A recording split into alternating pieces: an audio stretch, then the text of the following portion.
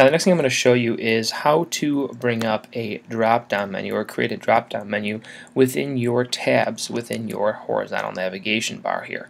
Now in order to do that we want to make sure that your horizontal navigation bar is actually enabled. So in order to do that we're going to uh, go to the top here and click on more and then we're going to click on Edit Site Layout. Now, Edit Site Layout is going to give you a whole bunch of different options that come up right up here.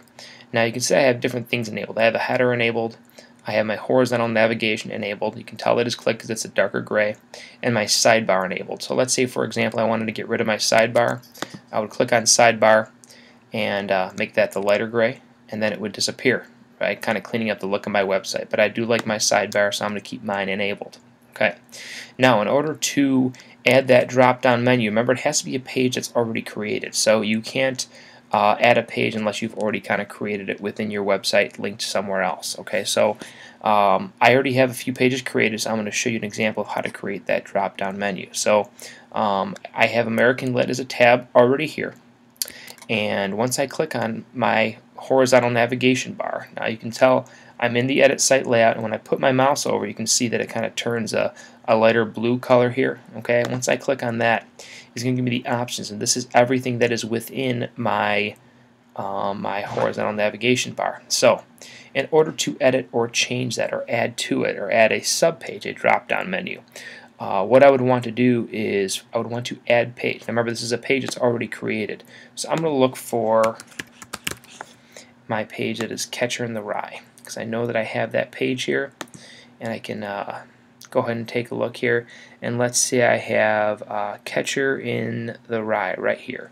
So I'm going to click on this page and I'm going to scroll to the bottom and click OK. Now what that's going to do though is that's going to add Catcher in the Rye all the way at the bottom here, right? That's going to become its own tab, but I want to make sure it becomes a drop-down menu under American Lit. So I'm going to have to use the arrow buttons right here to then move that up. So again, this is uh, Catcher in the Rye is a subunit of my American Literature class. And I'm going to keep going up, keep going up. I'm going to put that directly under American Lit. You're going to see the way this works in just a second.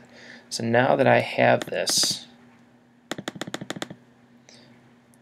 and I need to put it right underneath American Lit. Now you can see it's on the same level as, as American Lit, so if I hit OK now, it's just going to become its own tab.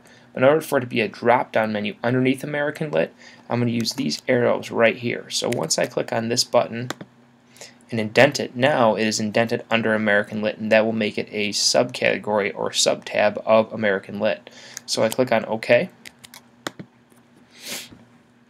And now I've created that subpage, but I won't be able to see it yet. Remember, I got to click close up here in order to get that done.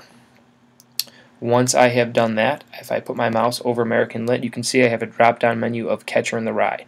So that is how you would create the drop-down or sub-pages or sub-units, however you want to call them, within your horizontal navigation bar.